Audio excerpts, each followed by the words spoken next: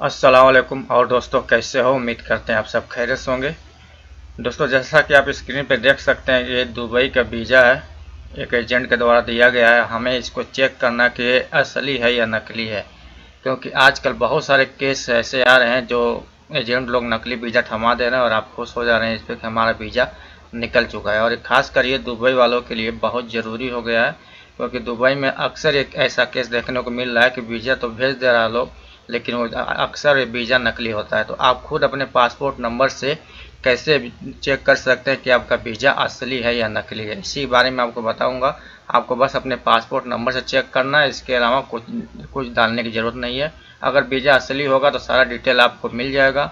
अगर वीज़ा नकली होगा तो कुछ नहीं मिलेगा आपको।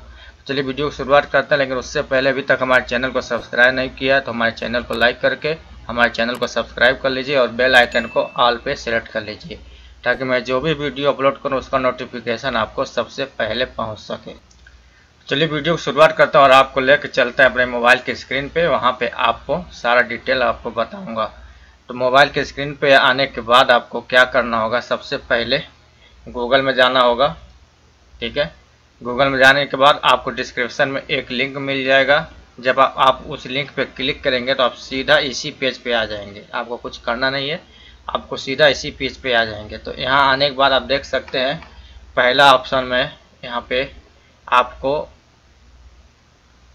फ़ाइल नंबर मिलेगा और पासपोर्ट नंबर यहाँ पे आपको पासपोर्ट पे सिलेक्ट कर देना है और यहाँ पे आपको वीज़ा पे सिलेक्ट कर देना है। फिर इसको नीचे आएँगे। नीचे आने के बाद यहाँ देखेंगे आपको। तो आपको सारा डिटेल आपको भरना है। यहाँ पासपोर्ट अपने पासपोर्ट का सारा डिटेल यहाँ पे भरना है। देखिए इसे। यहाँ पे आपको आपको यहाँ पे अपना पासपोर्ट नंबर डाल देना पहले नंबर पे, ठीक है? ये आपको पासपोर्ट नंबर पे मिल जाएगा। फिर यहाँ पे आपको अपना एक्सपायरी डेट डाल देना है। ठीक है यहाँ से आप एक्सपायरी डेट सेलेक्ट कर सकते हैं अपना। पासपोर्ट की एक्सपायरी डेट ठीक है? समझ गए? और उसके बाद आपको क्या करना है? इधर नेशनैलिटी आपको सिलेक्ट करना है। नेशनैलिटी सिलेक्ट करने के लिए आप पुलिस सिलेक्ट पे जाएँगे। तो मेरा नेशनैलिटी इंडिया है। तो मैं यहाँ से इंडिया लिख लूँगा और इंडिया पे सेलेक्ट कर लूँगा। ठीक है ना? इतना करने के बाद आपको फिर नीचे आना है। नीचे आने के बाद आपको यहाँ आई एम नॉट रोबोट पे चेक मार्क कर देना है। यहाँ जैसे चेक मार्क करेंगे उसके बाद चेक मार्क करने के बाद आपको यहाँ पे सिंपल यहाँ से सर्च कर देंगे। जैसे सर्च करेंगे, अगर आपका वीज़ा असली है तो किस तरह से डिटेल दिखेगा, ये आपको सामने दिख जाएगा। जैसे मैं यहाँ पे सर्च करता हूँ। देखिए, जैसे ही आप सर्च करेंगे सर्च करने के बाद जैसे नीचे आएँगे, आप देखते हैं सकते हैं आपका सारा डिटेल आपको यहाँ पे शो कर देगा। आपका फ़ाइल नंबर यहाँ पे शो कर देगा ठीक है ना?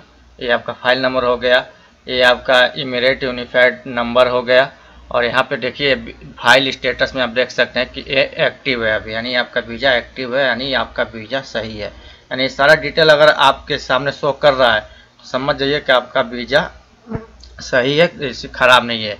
इस जैसे आप ऊपर आएँगे, देखिए फ़ाइल इशू डेट यानी किस डेट को आपका ये वीज़ा इशू हुआ था, ये भी आपको शो कर दे रहा है।